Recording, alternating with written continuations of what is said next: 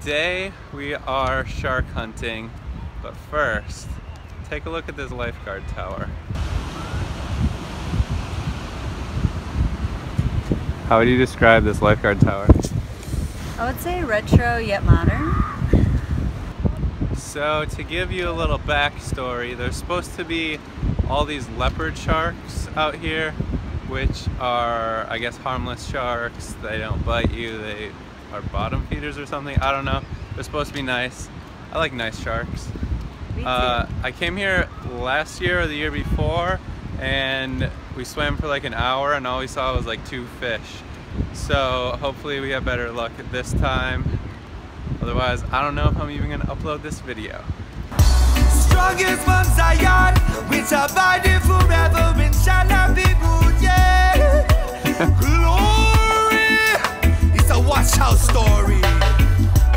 Are there any sharks up there?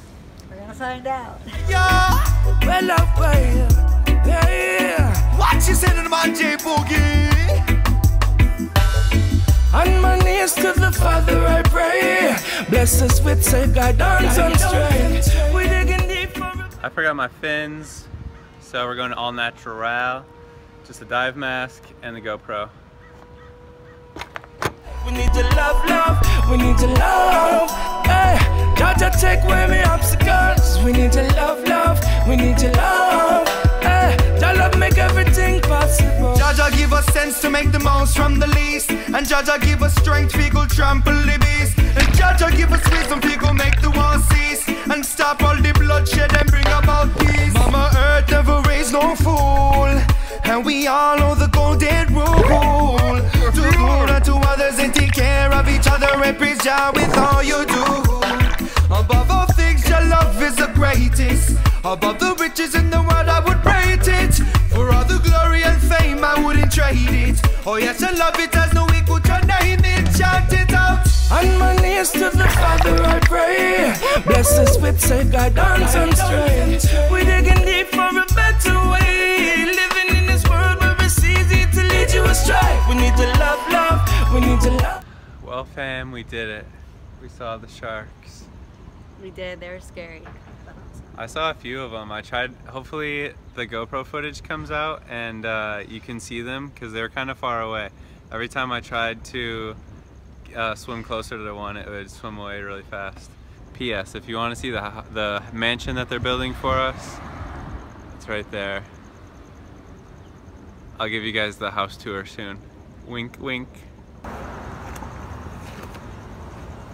Oh girl, where'd you get that changing poncho? Oh, Stevie. Nice. and just like that, we're back home. So I actually took the drone with us and I took it out after we snorkeled so I could get some cool drone shots and I forgot the SD card. So I just gave up and uh, sorry about that. I try to get drone shots in almost every video, so they'll be coming in the future videos. Also check out the new board that's going to be in future videos. And one more thing, I told Heather, she's in the shower right now, but I told her uh, that I would say you have to thumbs up the video if you think she is the sexiest snorkeler, which personally I agree with that.